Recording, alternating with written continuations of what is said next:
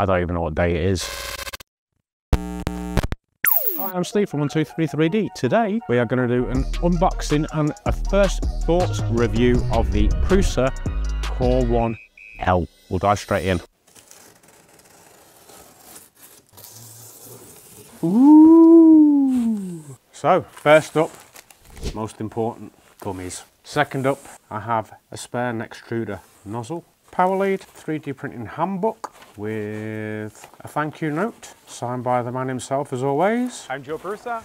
A build plate, a USB drive, the Prusa check packing list, some spare parts including grease and some screws and other bits and pieces. Prusa tools, Core One series spool holder and we have a Buddy 3D camera. So all very swish. We will lift it onto the floor and then lift it from the box onto the table. Uh-huh. Aha. Unleash the beast. So, spool of Prusament and the machine.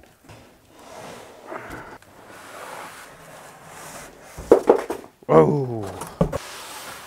Packaging unpackaged. Do not clean the panels with IPA. So I did mention this on the previous video for the Core One. Don't wipe any of the panels down with IPA because it will frost them over and destroy the plastic. I shall remove the film. Side cutters, super duper. Some little zippy ties on the control panel, so I just snip them first. Carefully manoeuvre that out of the way without putting any strain on the cables. And then simply just tuck the cables back into the cavity. There we go. So make sure that's locked down into place. Remove the rest of the cardboard. And then we have transport screws which is a first. This isn't on the standard Core One, but on the Core One L, we've got three screws. Very clearly marked by these little cardboard tabs. So I'll grab the tools and we shall remove those. That's them. Okay, so the lid is a little bit different to the Core One. It's clipped into place opposed to riveted into place. It will move around but I wouldn't let that concern you. I think that's to do with the automatic vent opening. Obviously we've got a different heated bed. Looking at that, I'm guesstimating that's maybe five mil thick. It's quite chunky. So I shall open the build plate and pop that on, which is satin sheet. So you get a satin sheet included with the machine, double-sided as always. We shall pop that in.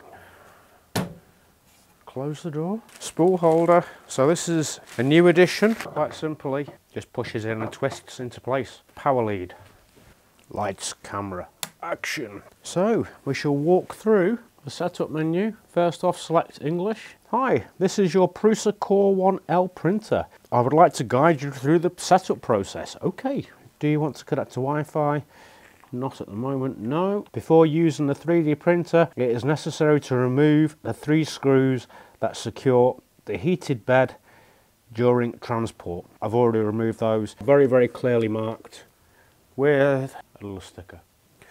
So make sure that you do that before you proceed. Do you want to enable the door sensor safety feature? So for those of you who don't know what this is, basically if you open the door, it will activate the machine to know that the door's been opened and it will pause printing. So it's a handy safety measure, especially if you're using it in an educational environment or if you've got small children around at home you don't want to messing around with moving machinery so as soon as you open the door everything will stop. So we shall have that on. You can turn it off if you don't want it on. Continue. That is it. We are there. I will proceed to have a look at what filament we have. The obligatory Galaxy Black. Can't beat Galaxy Black. Remove the silica beads. We don't want those sat inside. So first thing I always do, as you can see on the end of the filament, it's a little bit wavy where it's been actually clipped into the packaging. Take your side cutters, slip it off on a 45 degree angle, pop that on the spool holder, feed it into the, the tube. It's already acknowledged something. So there's a filament sensor actually located in the, the part there. So we'll feed it through until we feel resistance. It has now picked it up, asking me what material type it is. So I shall select PLA. Basically it'll heat the hot end now to the right temperature for PLA and then extrude a little bit and it'll ask me to confirm that filament has come through. If it hasn't, we can purge more. Just while it's doing its thing, I'll just run over a couple of little bits and pieces. The machine looks very, very similar to the standard Core One. It isn't noticeably bigger, I wouldn't say, although you have got double the build volume. Here's the build plate out of a standard Core One and here is the build plate out of the Core One L.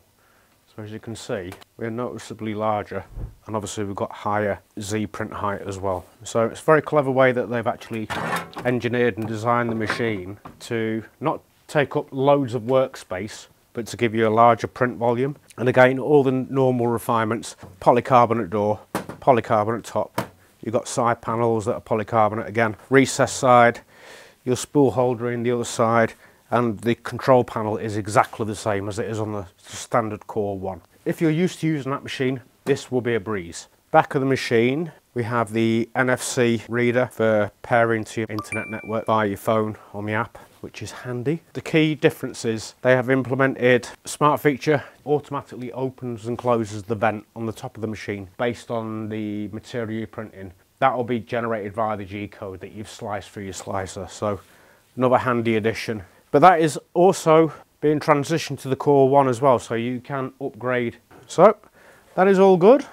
We shall click yes. It's retract a bit of filament Move that back from there and I shall find the USB. We shall pop it in and see what's on it. Lots of things. Bonkers Benchy, which is a claim to print in eight minutes. So let's see what it can do. Eight, not 18, eight minutes.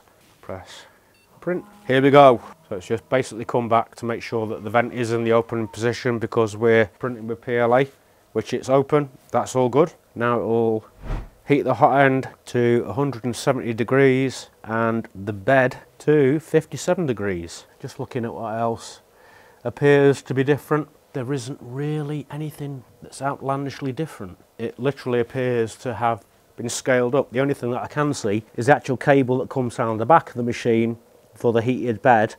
On the L model has a printed cover over the actual entrance port whereas on the standard it just comes through on a rubber grommet. Really that's about it. I can't see anything else that's really noticeably different. So one thing I did find a bit strange, obviously when I've set Prusa machines up in the past, you do have to go through quite a rigorous setup process. You work your way through the menu, the filament sensor calibration, you'll tap the hot end. There's literally none of that to do on this machine. So that makes setup even quicker than it was previously. We've done this real time, you've seen how quickly I've had it out of the box, set up and running the first print. Obviously if you build the kit version, which I would imagine will be available, that hasn't been confirmed so I'm, I'm surmising you would have to do that yourself on that instance but for the assembled version like we have here you literally don't. So it's now doing its bed mesh, it's now waiting for the hot end to heat up to 235 degrees. The bed is at temperature already so literally waiting for the hot end to get up to temperature and then it should fire into action. So for those of you who aren't aware, while it's getting ready to do its thing, there are a number of additions that currently released and being made available like IDEX, so you can have tool changes, multicolour print, very, very efficient, fast and reliable. So if you wanted this machine to print multicolour, you absolutely could do. I know it is actually 8 maximum on the standard core one. You may be able to fit 10 in this which is insane. Those will be available very, very soon. So if you're looking for a, a multi-material printer, this is definitely a worthy consideration. If you want to have a look at what the IDEX Bondtech collaboration tool changer looks like, please check out the Formnext video where we got to see it up close and personal. We will leave a link to that video in the description, so jump over there, check that out, and you can see exactly how it's set up and what it will look like with the actual tool heads installed. Basically they'll run across this portion. I know one of Chris's bugbears was this metal bar that was in the way, obscuring his view. We now know there was a reason for that. So as you can see, we are flying through. The bonkers Benchy rules, basically, it's going to print one wall with minimal infill to print it as quickly as possible. But it's a good test. It's preloaded slice G-code on the machines. We will slice some more models and get those printed off as well. Exactly the same metal frame. You've got the bed suspended on two smooth rods driven by three lead screws. Then you have smooth rods driving the y-axis and the x-axis is driven on a linear rail with belts. So very efficient Core XY design, exactly the same as the Core one. You've got the status LED bar at the front of the build plate telling you what the current state of play is. blue is printing. When it finishes, it turns green. If you get an error, it glows red. Same extruder as on the standard machine. Very reliable, easy to switch out the nozzles. It's a proven system and it works. It's just very reliable. We haven't installed the buddy camera yet, but I'll get it out to give you a look. You have the buddy cam, which connects straight to your Wi-Fi network. Little instruction manual. So yeah, if you want live monitoring, pop this inside. There is a USB cable already in situ there. So pretty much you just plug it straight into the USB-C port, pop it in the corner and you're good to go. So three minutes in, 62%. And as always, this isn't the ideal table to have a printer like this on. It's all right for demonstration purposes, but if you're permanently housing the machine, solid. Solid surface is key. We are done. Exceptionally quick. And as I say, the LED status bar has turned green, letting us know we are good. So we'll pop it open, remove the little purge line. What they have done with this build plate, they've actually given a tab at the front, which makes it easy to, to lift the build plate out of the machine. There we have it, ladies and gentlemen. An eight minute benchy in very satisfactory quality, as always. So yeah, what we will do, we will slice some more files, we will print some more things, and we shall leave those for you to look at on screen round about now. But first thoughts, I wouldn't expect anything less from Prusa. They've obviously wanted to evolve the range, keep the same look, pretty much Core XY is the way forward with 3D printers. It'll be interesting to see if they come out with an XL version. Who knows?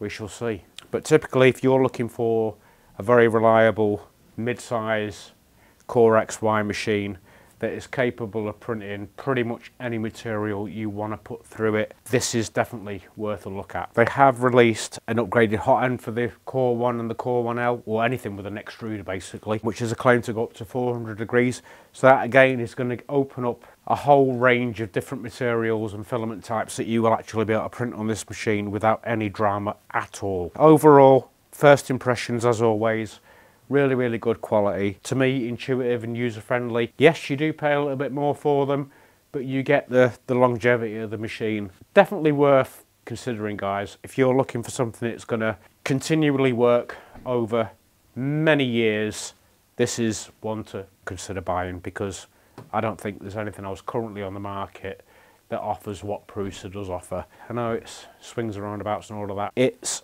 personal preference. I've had the joy of using lots of different brands. For me, as a user, I just like Prusa because it, it works and they continually improve it.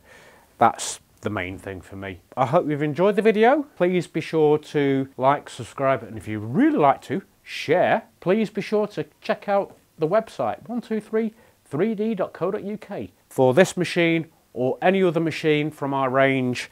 The link for that will be in the description. I hope you've enjoyed the video. I will see you on the next one. Bye bye for now. As always, we aim to have the most competitive 3D printer prices on the market. If you see any of our printers being sold by a mainstream retailer for less, please drop us an email using the link in the description and we'll do our very best to beat their price. Also, if you're watching from outside the UK, check the description for links to our European 123 3D sister stores.